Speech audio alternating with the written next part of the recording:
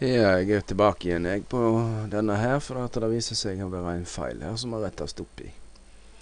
Hvis vi ser på Det går an å være litt sløv med dette her og ikke gjøre feil. Hvis vi ser på Her står det jo fire ganger R4 og fire ganger R2. Mens en har laga faser i den andre, da.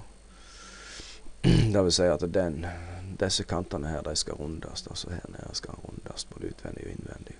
Mens disse skal fases. Så jeg må forandre litt. Nå ser en han har lagt eh, kamfer på alle her, så det er jo feil. Så jeg trykker bare delete når jeg har markert. Markerer den grønn og trykker delete. Kan jeg endre på det. Så da får jeg ta uh, alle utvendige hull opp igjen. Da går vi på kamfer. 0,5 skulle den være. Prøver ikke å gjøre samme feilen igjen.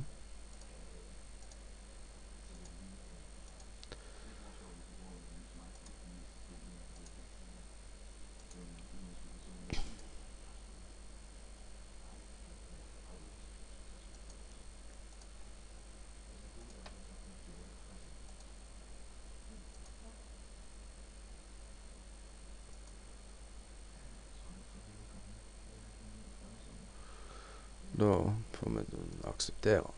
Finish. Lagre. Tok en kontroll i for å få den tilbake igjen. Så får vi ta disse um, eh, Hvis vi tar innvendig først, da.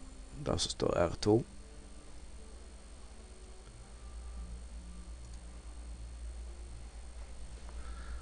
Tar vi en round. Den skal være to, da kommer han på. Kjører vi på den. Om vi snur den og får med oss denne. Og den. Så er vi. Ja, og lagre.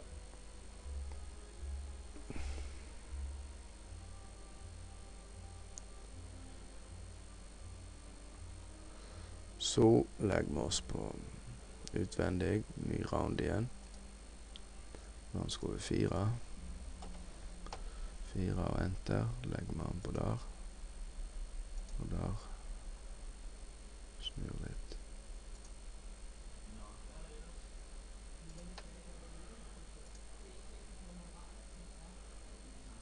Og lagre.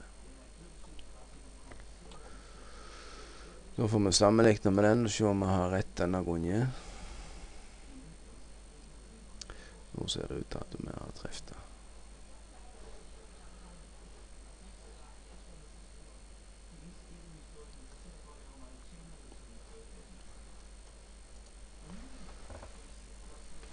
Ja, da får vi si oss fornøyde.